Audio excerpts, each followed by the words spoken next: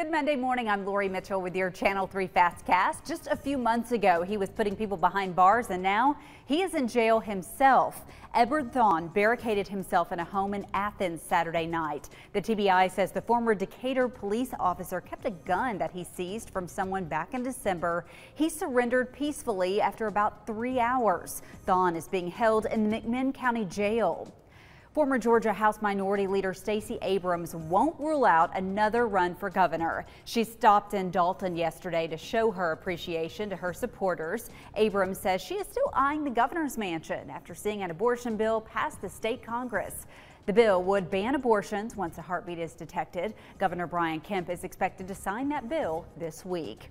And the U.S. Education Secretary will meet with Tennessee Governor Bill Lee today. Education Secretary Betsy DeVos is touring schools in Music City. She wants to learn more about Tennessee's school choice policies. DeVos made national headlines last week when she suggested cutting all federal funding from the Special Olympics. Take the news with you inside the WRCB app and check back with us throughout the day. I'm Lori Mitchell, and that is your Fastcast. News in about a minute.